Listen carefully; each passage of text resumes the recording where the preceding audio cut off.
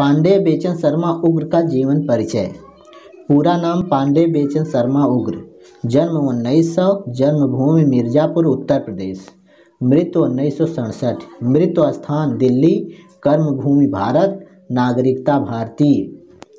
मुख्य रचनाएँ, दिल्ली का दलाल, चंद हसीनों की खतूत सन की अमीर, चिनगारियाँ, पंजाब की महारानी, जब सारा आलम सोता है, आदि।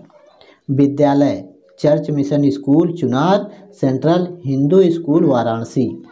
विशेष योगदान, समृद्ध भाषा के धनी उग्र जी ने अरसा पहले कहानी को एक नई शैली दी थी, जिसे आदरपूर्वक उग्र शैली कहा जाता है।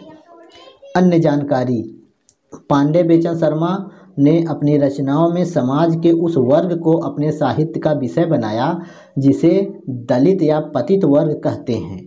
और उसको दर्शाने में उन्होंने किसी प्रकार के सील या अभिजात का परिचय नहीं दिया।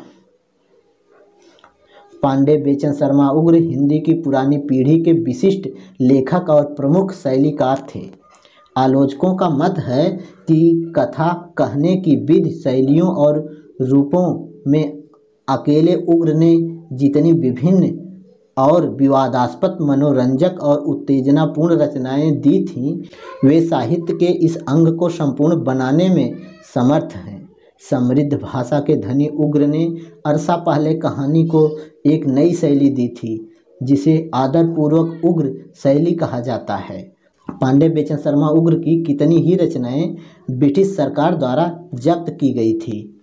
जन्म तथा शिक्षा।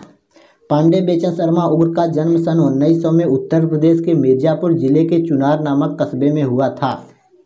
इनके पिता की मौत इनकी बाल्यावस्था में ही हो गई थी।